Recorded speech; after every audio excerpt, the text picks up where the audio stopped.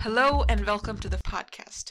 Here in the studio with me, I have a friend, Acadia, who is a student at Hollins University. They are Hungarian by heritage and are here to enlighten us about a popular and terrifying Hungarian folktale that inspired a unique festival. So, Acadia, tell us, what exactly is the festival of Bujohar? Hi Akshi. Uh, so Busójárás is held every year in the village of Mohacs during what we call Farsang, or the carnival season. And the festival may be held in Magyarország, or Hungary, but also it is celebrated by the Shoki, which are a group of ethnic Croatians.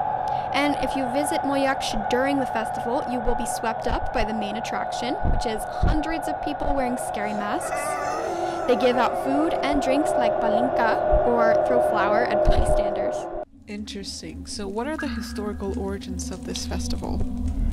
Yeah, so the legends say that when the Turks invaded Eastern Europe, they chased residents of Mohacs out of their homes and into the swamp. So uh, when they came when they came, the residents came up with a plan to retake the village by putting on scary masks, and they ran straight at the soldiers, like rushed.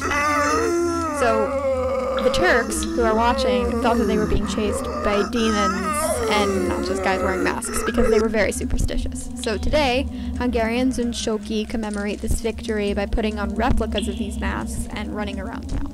Whoa, that's both interesting and scary. So I'm curious, what does the word Busójárás even mean? So it's actually a two-part word. Um, it translates to bujo walking. I'm not entirely sure if bujo has a direct English translation, but I always kind of assumed that it meant demon or monster of some sort. Is there anything else you think we should know about this festival before we wrap up? Yeah, sure. Uh, if you ever visit Hungary during Farsang, uh, be sure to check out this festival and everything that comes with it. Also, be sure to try palinka. It's one of Hungary's most favorite drinks. You may actually be handed a very small cup by one of the bujos.